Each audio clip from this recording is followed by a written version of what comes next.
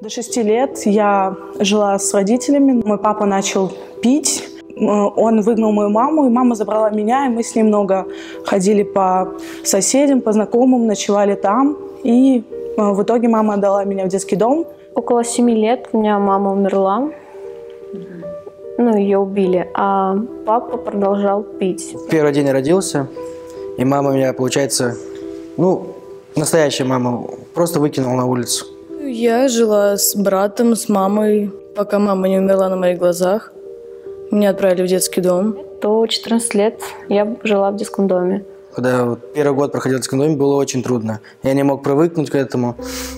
Я избегал с детского дома, и мне там не нравилось, и коллектив там другой был. Из детского дома выпустилась три года назад. Детский дом дал мне ну, почувствовать жизнь. С малых дел, что я понимал, что такое жизнь уже. Тебя контролируют, тебе не нравится, потому что тебя ну, ограничивают в многом.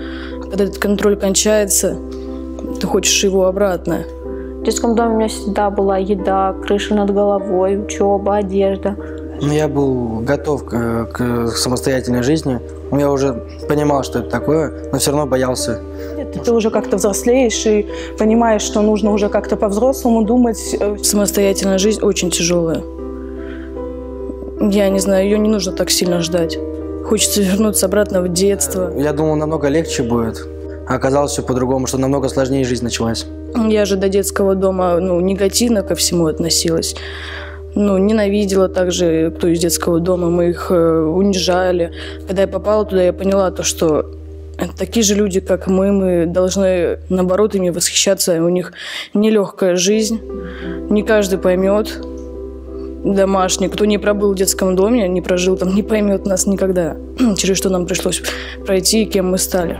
Пять или шесть лет назад, когда я был в лагере, приехал в фонд «Пчелка», они с первого, ну, с первого раза сразу понравились.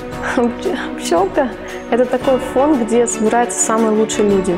Новые знакомства с разными людьми, которые очень добрые по душе. Я, я даже не ожидала, что такие люди есть нас любят и не забывают, и что мы не одни в этом мире. Я все время спрашиваю, как, что сделать. Все время хорошие советы говорят.